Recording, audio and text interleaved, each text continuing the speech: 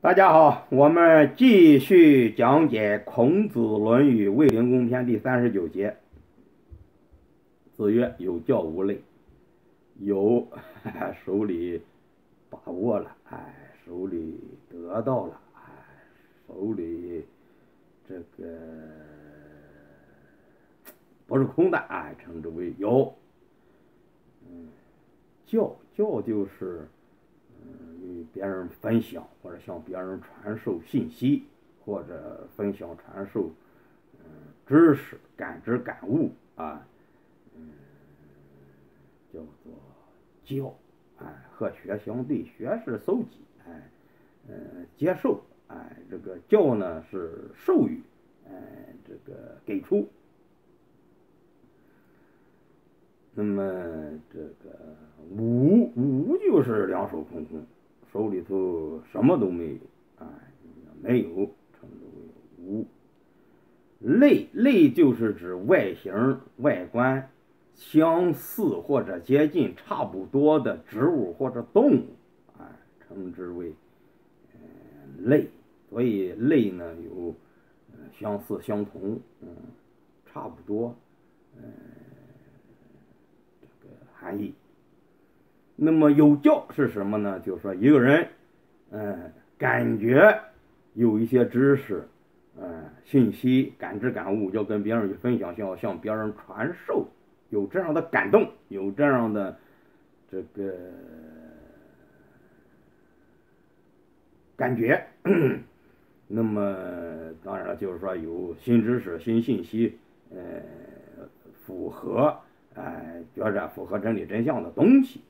那么，但是呢，这个东西就是你感觉到了，那么一定要还要再有一个尺度去卡一下，就是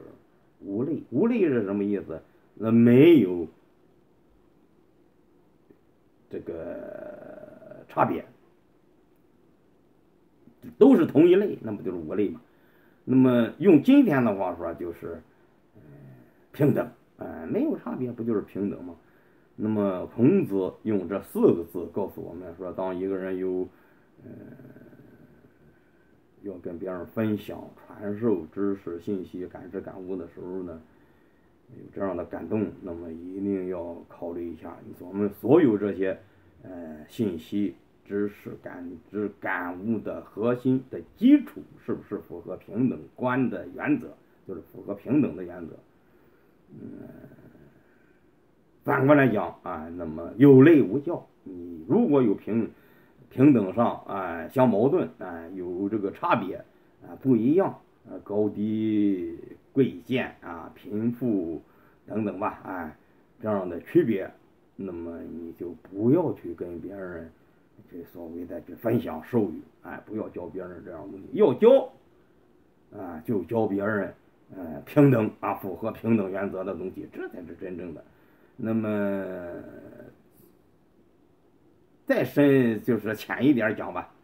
那么就是说要一种宣传啊，人有三六九等啊，人高级，动物低级，植物更低级啊，细菌、病毒、鱼吃啊，有这个贵族，有贱民啊，大家这个这个这个 呃。